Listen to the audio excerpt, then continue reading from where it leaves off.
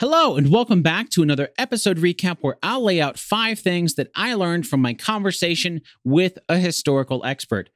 Today, we're recapping the conversation that I had with Marty Morgan about the historical accuracy of Saving Private Ryan.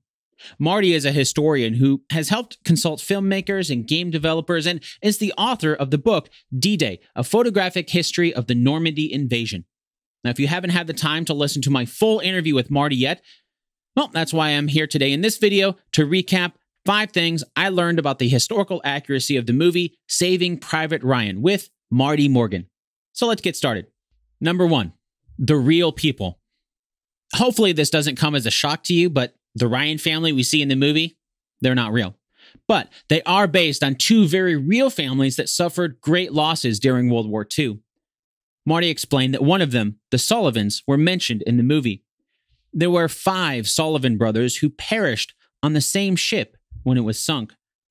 But the story the fictional Ryans are based on more are the Niland brothers. There were four Niland brothers who served during World War II. Marty told me that one of the brothers, Edward Niland, was shot down in May of 1944.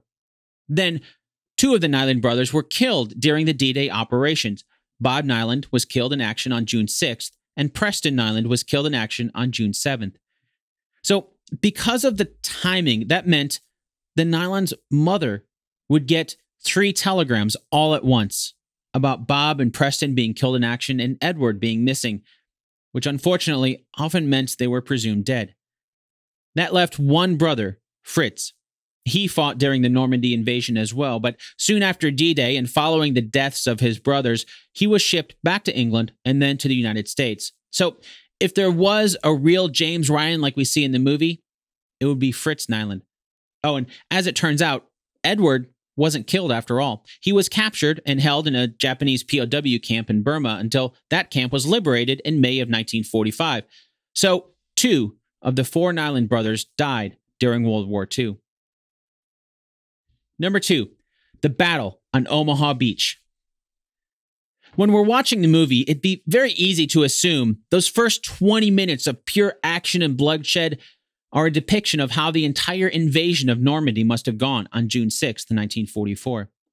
While Marty did say the depiction was one of the most accurate that he's seen in a movie yet, that doesn't mean it's entirely accurate.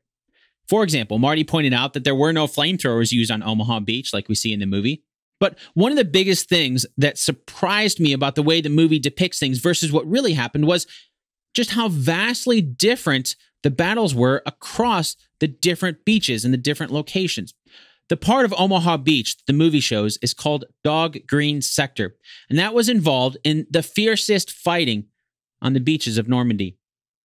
In other areas, though, Marty pointed out that some of the Allied soldiers, just a few hundred meters from Dog Green Sector that's depicted in the movie, received very little resistance. So it's not like the entire D Day invasion was the same experience for everyone. Number three, an impossible shot. There's a scene in the movie where we see Barry Pepper's version of Private Jackson use his sniper rifle to shoot through the scope of an enemy German sniper.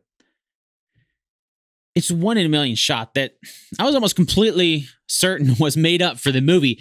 So I had to ask Marty about it, and he told me that's not necessarily the case. He said that shot in the movie was based on a sniper named Carlos Hathcock, who claimed to have done the exact same thing shot an enemy sniper through the scope.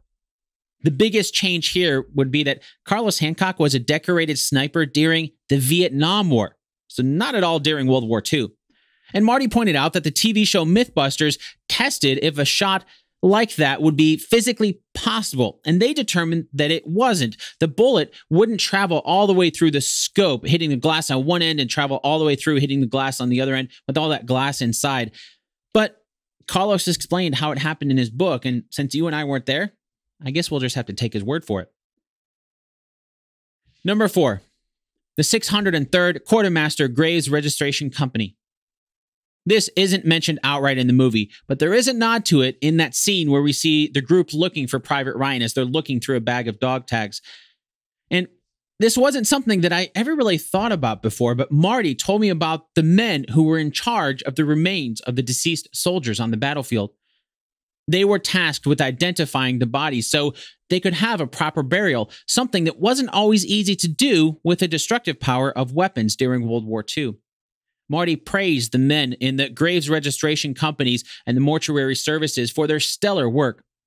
As he told me, he's been studying this for about two decades now and has found very few mistakes. That's very impressive considering all their tracking and identification was done manually without the use of computers or any sort of digital assistance like we have today. Number five, Ramelle. At the end of the movie, once they find Private Ryan and the other paratroopers, they're holed up in a town called Ramelle along the Mer de Ray River, or as they say it in the movie, the Mer de Ret. It's here that, according to the movie, the Americans tried to hold off the advancing Germans to stop them from taking a bridge. While the Mer de Ray River is real, the town of Ramelle is not. So that battle never happened. In fact, Marty pointed out that the American parachute infantry forces didn't encounter any German tanks until late July. Well, that's not entirely accurate. I should say, any German made tanks. Normandy is in France after all, and the Germans had captured French tanks.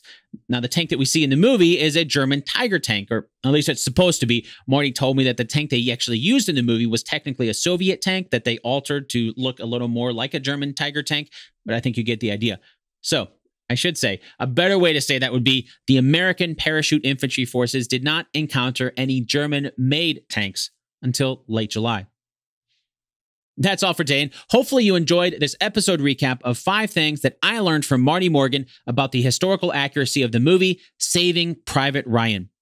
My chat with Marty was over two hours long, so we covered a ton of content. And Marty went into some great detail about the historical accuracy of things that we saw in the movie Saving Private Ryan. You can listen to that whole interview for free right now over at basedonatruestorypodcast.com slash 159. Once again, that's basedonatruestorypodcast.com slash 159. And for more historical stories from the beaches of Normandy and photos to go along with it, don't forget to pick up a copy of Marty's book called D-Day, A Photographic History of the Normandy Invasion. In the meantime, for more recaps and full length episodes of Based on a True Story, hit that subscribe button right now. Thanks for watching.